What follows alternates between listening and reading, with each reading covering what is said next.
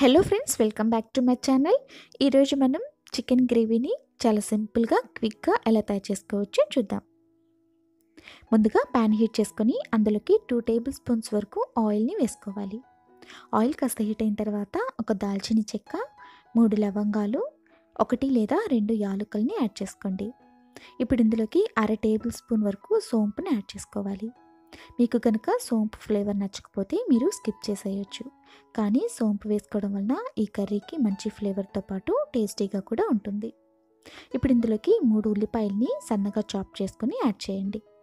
ఉల్లిపాయలు పూర్తిగా రంగు మారేంత వరకు బాగా ఫ్రై చేసుకోవాలి.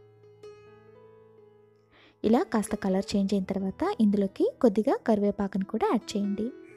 ఈ కరివేపాకును కూడా బాగా ఫ్రై చేసుకోవాలి.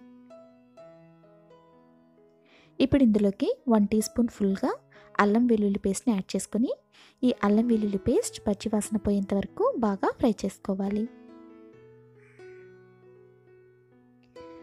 ఇందులోకి మూడు టమాటాలని చిన్న చిన్న పీసెస్గా కట్ చేసుకొని యాడ్ చేయండి. ఈ టమాటా ముక్కలు కూడా పూర్తిగా మగ్గేంత వరకు బాగా కలుపుకుంటూ ఫ్రై చేయాలి.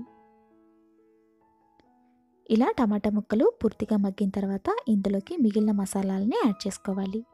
టూ టీ స్పూన్స్ కారము పావు టీ స్పూన్ పసుపు అర టేబుల్ స్పూన్ ధనియాల పొడి అర టేబుల్ స్పూన్ జీలకర్ర పొడిని యాడ్ చేసుకోండి.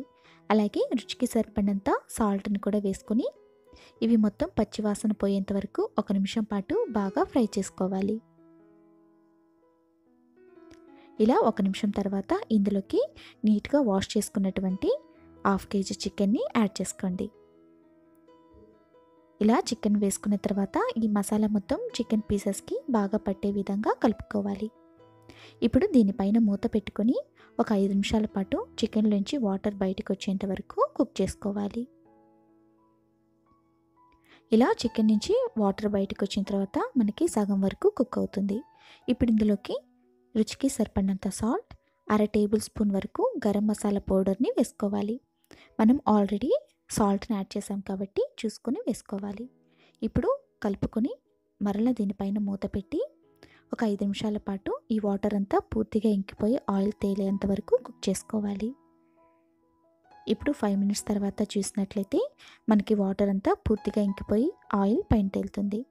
ఈ సమయంలో మనము కొత్తిమీరని వేసుకొని ఒకసారి బాగా కలుపుకొని స్టవ్ని ఆపేసుకుంటే సరిపోతుంది. అంతే ఫ్రెండ్స్ ఎంతో టేస్టీగా చికెన్ గ్రేవీ రెడీ అయినట్లే. ఈ చికెన్ గ్రేవీని చాలా సింపుల్గా క్విక్గా తయారు చేసేసుకోవచ్చు. మీకు కనుక ఈ రెసిపీ నచ్చినట్లయితే మీరు కూడా తప్పకుండా ట్రై చేయండి ఫ్రెండ్స్. Thank you.